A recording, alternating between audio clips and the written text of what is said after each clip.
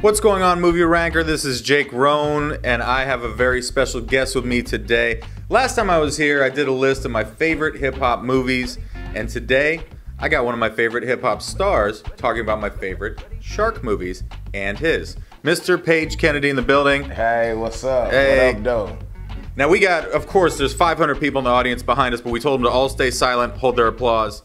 So we, so Page is in, Page is in the brand new movie coming out, new summer blockbuster, The Meg.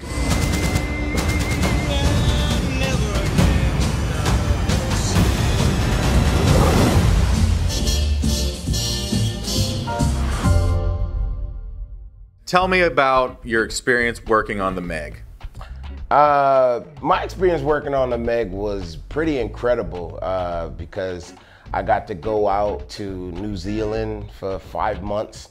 Uh, and, you know, I, I had actually never been out of the country besides Canada. And so that flight was very interesting for me to fly that long.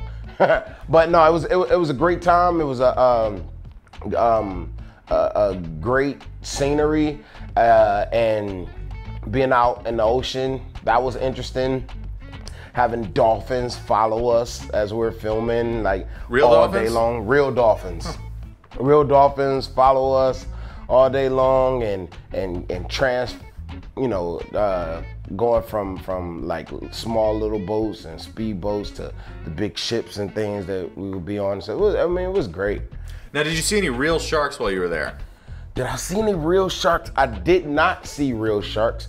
The only thing we saw were jellyfish in the water, and we saw the dolphins.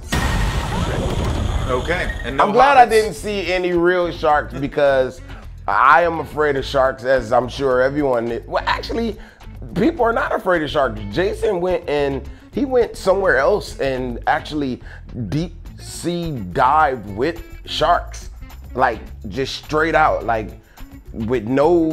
I mean, he had this underwater gear, but he actually went down with the sharks and they fed the sharks around him. I'm talking about big bull sharks. That sounds a little set up ish. Well, I mean, I hey, maybe he's a method actor or something. I don't know. I, I wouldn't have done that. I've made a I've made a vow that no matter what happens in my life at any level of success, free food will always be as exciting to me. Hot provided meals, three best words in the English language in consecutive orders. So- Same.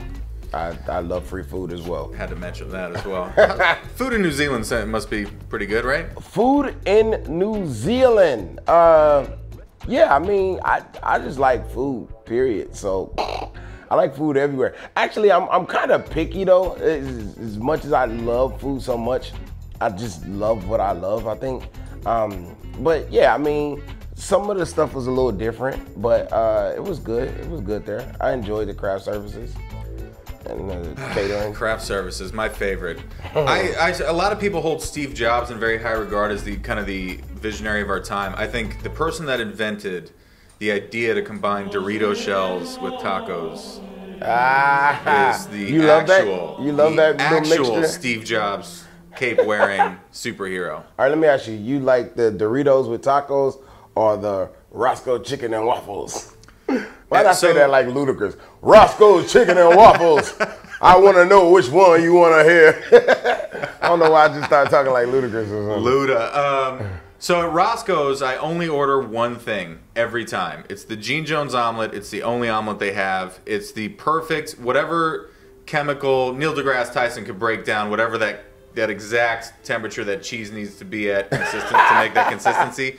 And Roscoe's is to say on point would be to understate what they actually the fine work they do in that establishment. Yeah, I mean, I could only eat there like twice a year because otherwise I have a heart attack. But Yes. I love it. That the twice a year is like Christmas twice. We love you, Roscoe's.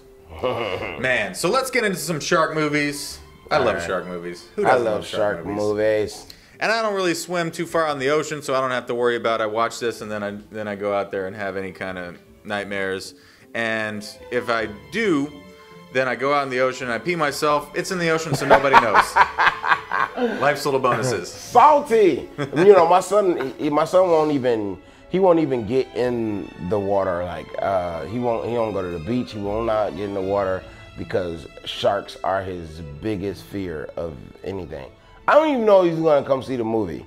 Cause he's gonna watch the whole thing with his uh, eyes like peeking out his fingers, like, and he's Okay. an adult. Okay. Well, listen, just for for the watchers out there, the movie is so good, you got to come see the movie despite your fears. right. Um, It's it. The movie is is is great.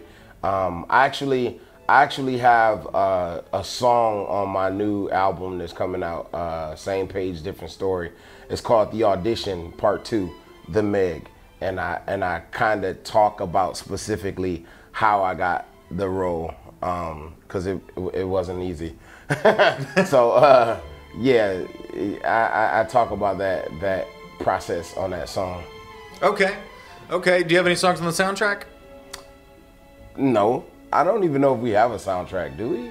I, I don't know. There aren't soundtracks, Soundtracks aren't really are not much really of a thing, thing these days, but I love anymore. when they are. I know, right? Like I, I don't think. I was having a conversation with my friend about this, uh, like maybe a week ago or something. That soundtracks used to be like a big thing in the '90s, but now only like big, like like Black Panther like has a soundtrack or like you know. But I don't think they do soundtracks like that uh, anymore. But if there was, I definitely would have been on there. Just making sure we on the same page. I know the name, actor slash rapper, social media takeout, discharge hot shit, no gonorrhea breakout. I would like to think. Okay, probably not. I wouldn't have been on there, but that's okay.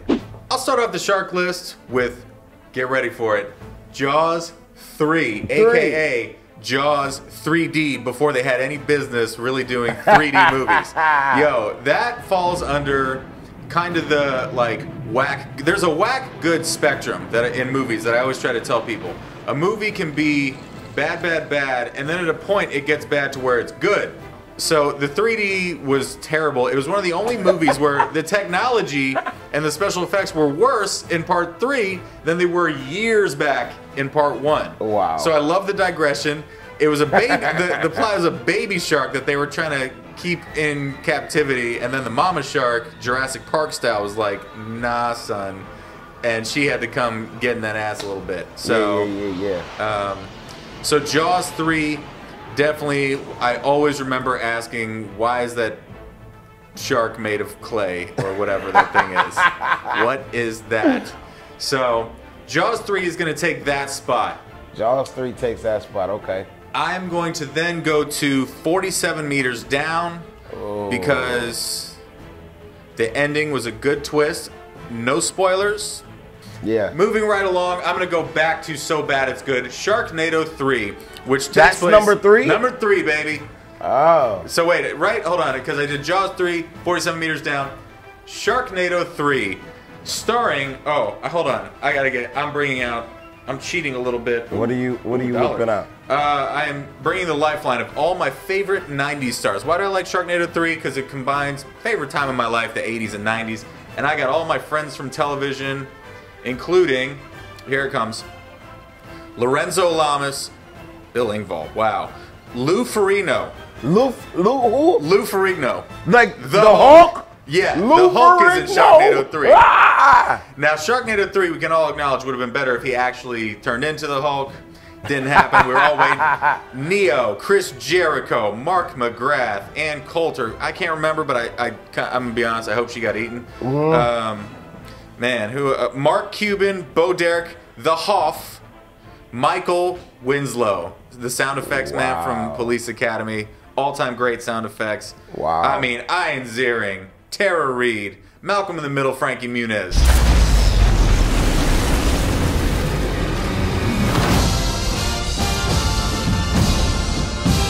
He looks heroic, but he's kind of got a negative attitude.